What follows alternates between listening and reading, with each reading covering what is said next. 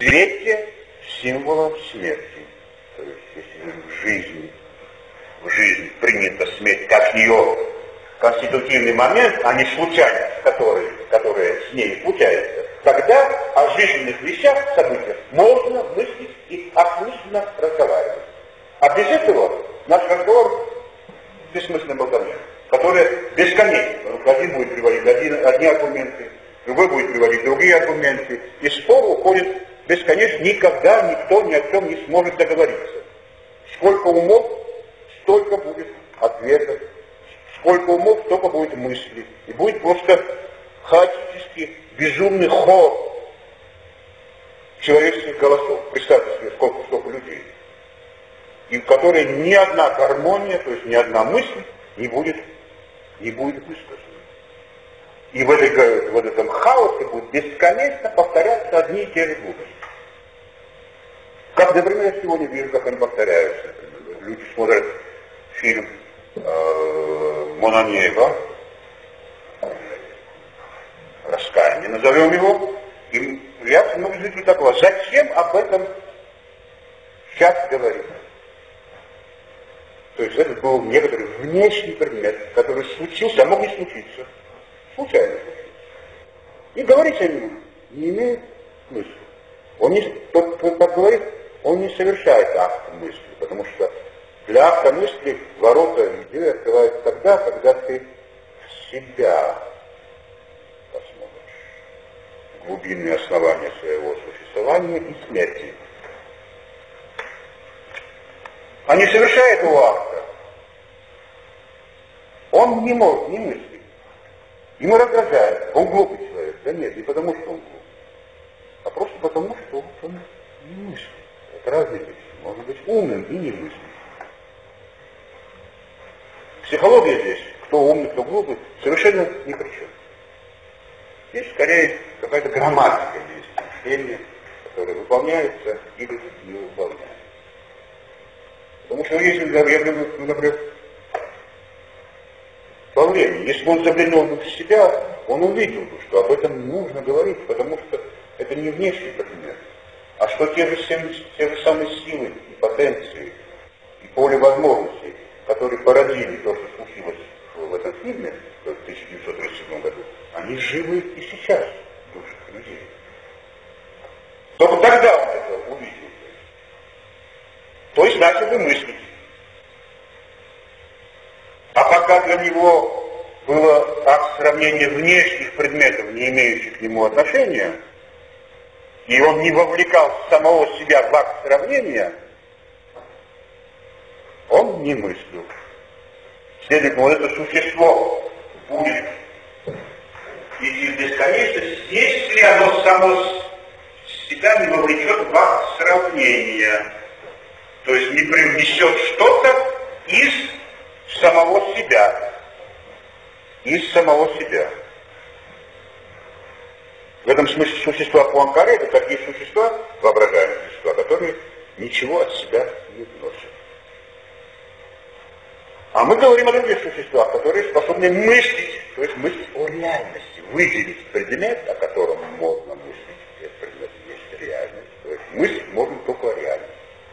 Как я уже сказал словами Парменида, мыслить значит существующее необходимо говорить и высказываться. Понимаете? А случайные страдания это не существующие. Случайные смерти это не существующие.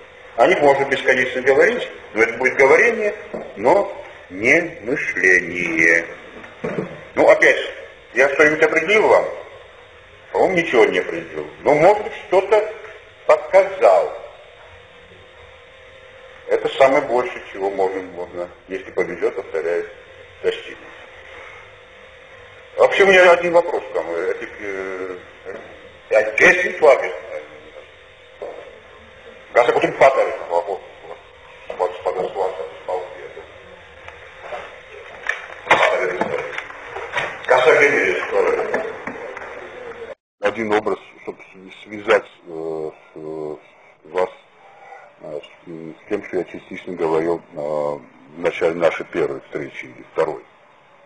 Значит, Вот и от этой точки фактически и отсчитывается то, что я называл воспитанием чувств, или э, отсчитывается то, что я называл э, тем, как мы вырастаем. То есть как мы становимся мужчинами. Ну, мужчинами взрослыми, я имею в виду. То есть э, способными держать мир. В смысле, не быть инфантильными. То есть видеть мир, в котором нет по, по отношению к нам э, намерений. И видеть, прежде всего, то, что из нас вырастает,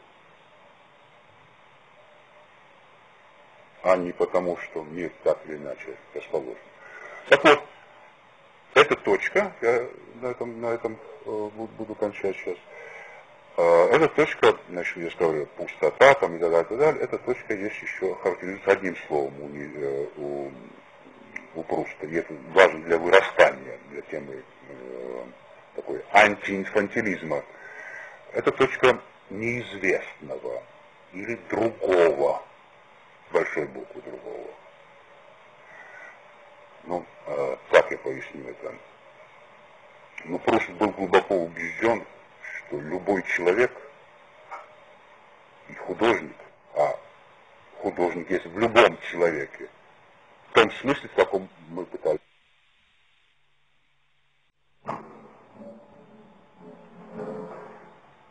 Я продолжу тем, э, на чем мы остановились на прошлый раз, и постараюсь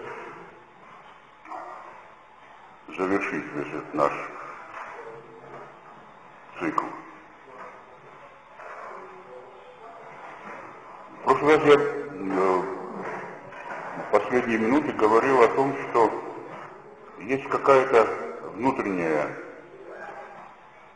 э, длительность, длящаяся действие, вечный акт,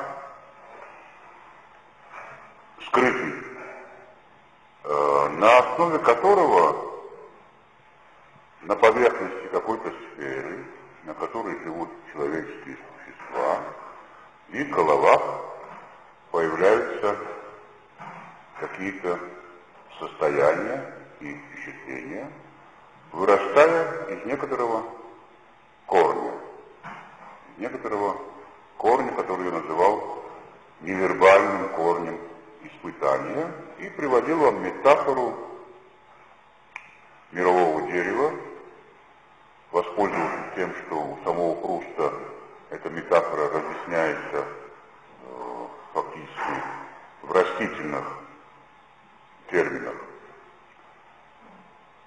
терминах корневища или черенка. И вот тот черенок обладает странным свойством, которое я пометил вам, что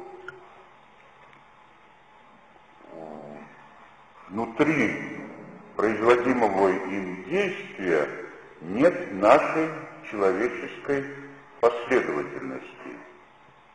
То есть той последовательности, которую мы наблюдаем, в которой один человек живет, проживает свой срок жизни, потом живет другой человек и так далее, и так далее как бы, можно сказать так, термины вот той длительности, они не есть, и примеры этого я приводил в другой связи,